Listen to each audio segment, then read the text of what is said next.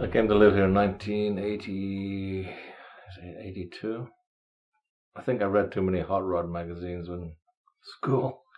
I like that lifestyle, hot rods, cars, etc. And I just thought I would try it, you know. If I didn't try it, I would always regret it. So people said I would be back in two months anyway. So that was 33 years ago.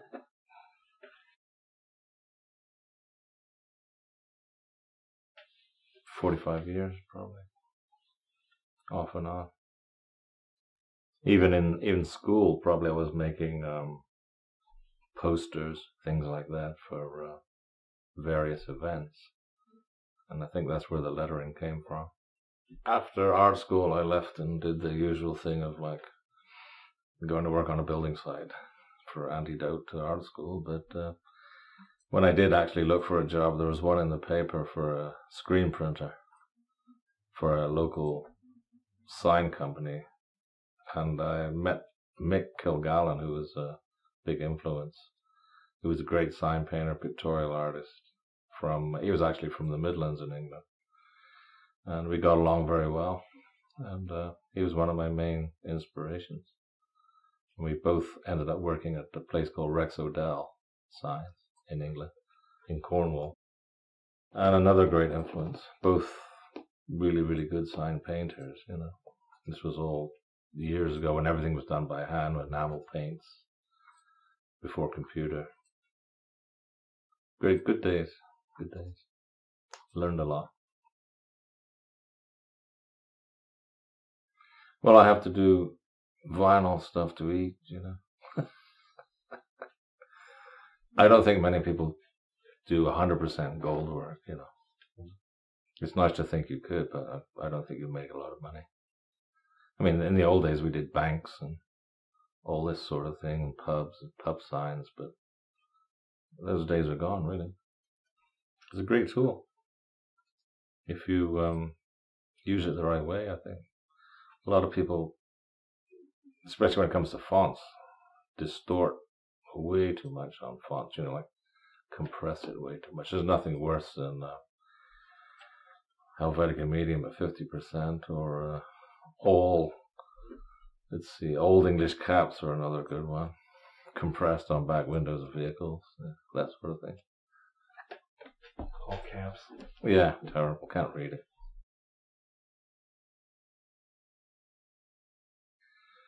Well, I was trying to find something um, old. Uh, I like the hundred year old stuff, and um, the basic design for that came from Ames Compendium and uh, another source. I can't remember the other source now, but together it came out to uh, to what it was. See, it used quite a lot. I used to have it on a hot rod. It was very suitable for that. I see it everywhere now on like T-shirts and uh, food products. It's strange. but it's funny if you'd be at the gym or something, and uh, somebody be wearing a T-shirt with uh, some of your lettering on it, and and you feel odd going up and saying, "Well, I did that letter." You know, they'll think you're crazy or something. But that happens quite often. I just take it as a natural thing these days.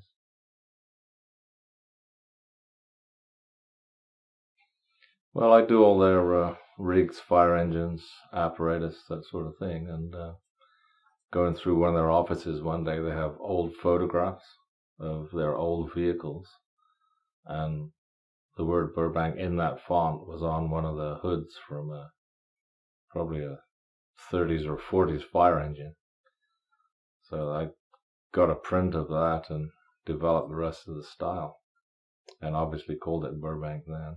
Sometimes they use it on their rigs, but not all the time. decorative, flourishy things from, you know, the last century. Well, not the last century gone, but the 1800s maybe. But I think they have more character and like more delicate stuff, and uh, I think they're used far more often than a big chunky font. You know, they're just prettier. I, I could all good lettering really is based on Roman font. as far as I'm concerned.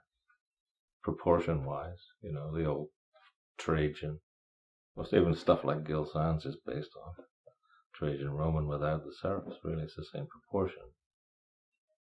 So it's just a love of lettering, I think. Well, I like to maybe look at old magazines or old photographs, and maybe find a few, even a few letters will do. You get the character of the thing, and try drawing a few letters. I just like to draw it with a pencil first to get more feel for the thing. I have done straight, you know, straight onto the computer, but I think it gets more mechanical. Then you can get more flow with a pencil, especially on curves and that sort of thing. It gives you a better idea. Say if it's a um, all the elements are in a photograph or a print, I'd scan that into the Gerber program, and then you've got a color JPEG or whatever it is. Dim the image, you know, knock all the colors back, so you can see. That's how I'd probably do something that's already existing. And if it's not scannable, I'll redraw a few of the letters. And it's the same process. Just scan a line drawing, knock back the color so it's faded, but you can still see what you're constructing. That's my favorite technique.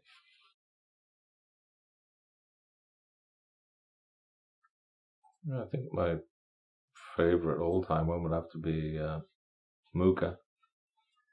for his sense of uh, like color, and he's a very good letterer as well, and also the decorative stuff he did, and not just the painting. You know, it's pretty inspirational stuff. I hang around with a bunch of gilders mainly, and there's um, probably a few dozen of those that are real excellent artists. We have a, a conclave once a year where they all meet up, and that's always a great thing. And like Larry White in San Francisco has a meet once a year as well. So there are a few on the on the uh, west coast. I don't know many people from the east coast.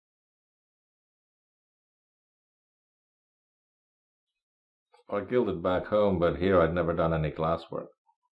So I started to learn from the, the old gold leaf techniques book. I think it's a 61 version or something. But um, I'd done a few things according to the book and it didn't work out too well. Then I was given Rick Glawson's name.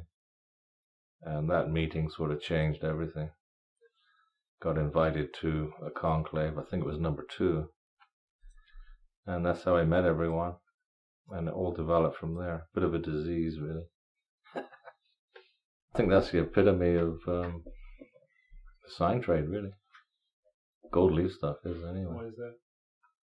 Because of the expense of the gold involved. That years ago, I think the uh, only people that used gold were banks, and of course the vices. I would call the vices tobacco, alcohol, you know that sort of thing.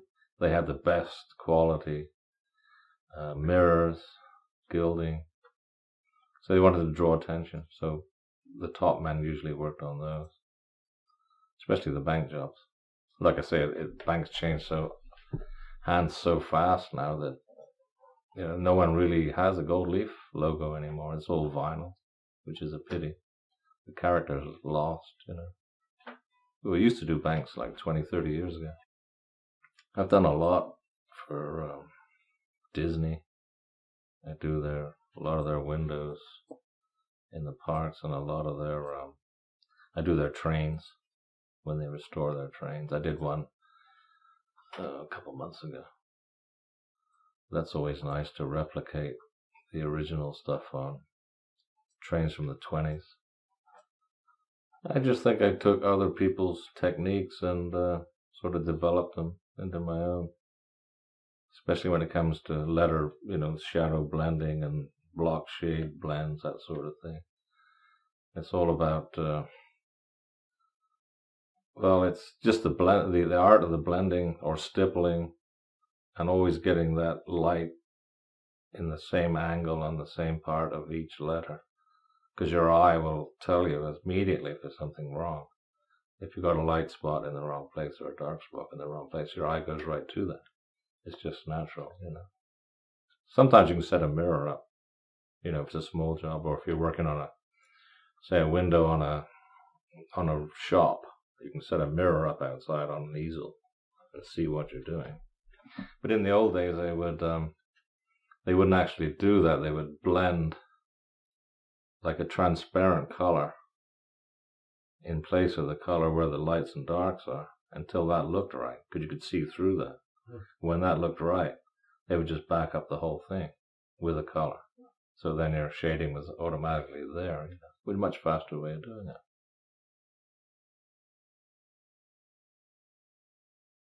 I think my favorite thing is uh, I think working on glass, gold, maybe researching some uh, new fonts. I'm into mo- vintage motorcycles, Norton, 75 Norton, and hot rods, that sort of thing as well. I'm into uh, restoring those things. I just try and keep busy doing a lot of different things.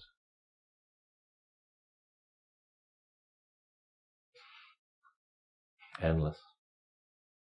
I think endless. When you think you've, um, you know, run out of uh, ideas, you'd be looking at something or a mirror or an old book and something will, will hit you. There's a lot of young kids coming along. Like, for instance, um, LA Trade Tech. I know the people that run that place, like Doc Guthrie. And uh, their attendance has gone up probably threefold in the last few years because of a resurgence of hand lettering. I think San Francisco is a good example of that because there's a big resurgence of uh, hand lettering there and gilding. So it's a good thing. And I know quite a few of those people and I like helping them, you know. Uh, I was doing a gilding job in uh, Beverly Hills, and there was a uh, an old English pub mirror, probably 100 years old, acid etched on the wall, big one, you know. And there are three styles on there, which I think can be developed into uh, some pretty good fonts. And they're fairly unique. That's what I mean. Maybe by you think you've done it all, then you see something that'll inspire you, you know. So that's a bit of a challenge coming up. Looking forward to that.